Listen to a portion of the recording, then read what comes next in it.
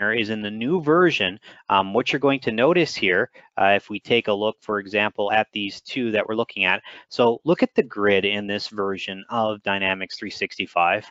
You can see when I go over and mouse over it, order type, everything is here, right? I can click on my invoice account. I've got different sorts and I've got different filters that I can apply to it. Well, guess what, guys? There's a new grid control coming. And what that means is that we can do some even cooler things with our grids. So um, in our new environment, in the spring release that's coming, now look at what happens when I hover over it. It's got this weird thing that pops up, right? So number one, being able to dynamically move around columns. Nice feature to have, right? You could kind of do that here as well. You'd have to right click, you'd have to go to personalize, and you click on the move action. Well, this grid control has that capability out of the box. The other capability, though, that's inside of the new grid control um, that I see a lot of people using is grouping capabilities. So for example, um, what you can do is you can right click on customer account. I can say group by this particular column, um, click on that grouping, and now just like within Excel, when I do my grouping, I can see I have 25 orders for this particular account.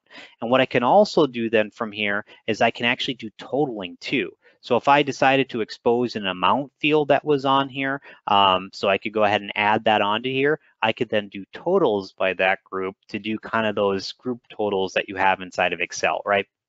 So nice feature there. Um, the other capability then though is that these views, so we we were showing, this is called the React grid. So we were showing, for example, if I go to my React grid example that I already pre-set up inside of here, um, you can see all the different columns I've added into here and the amounts, uh, and then the totals that are related to it as well that can calculate for this. So this is just an example of one um, that has the accounts that are grouped as part of it and then can have the amounts then as well that you can total by basically going over to that field, go to the totaling amount and then total this column to be able to then get to those values that will then show up inside of here. And lastly, being able to save dif different looks and feels, right? So maybe I want it still uh, sorted by customer account that's inside of here. Um, let's say I want to do a standard view to start off with. Um, I want to not group by this, so I can actually go ahead and uh, ungroup by it. I want it sorted by sales order number, um, we'll say descending. Um, I can save this view now, so I can save as my new view, example view and I can pin it as my default. So now when I actually access my sales orders, for example, when I go to all sales orders that we were looking at, mm-hmm. my new view is being used for that, which means that you can personalize the columns that you have inside of here. As you could see before, I do not have an amount field on here, but when I change it to my grouped field, my React grid example that I have, you're gonna see it go through and then change those columns too.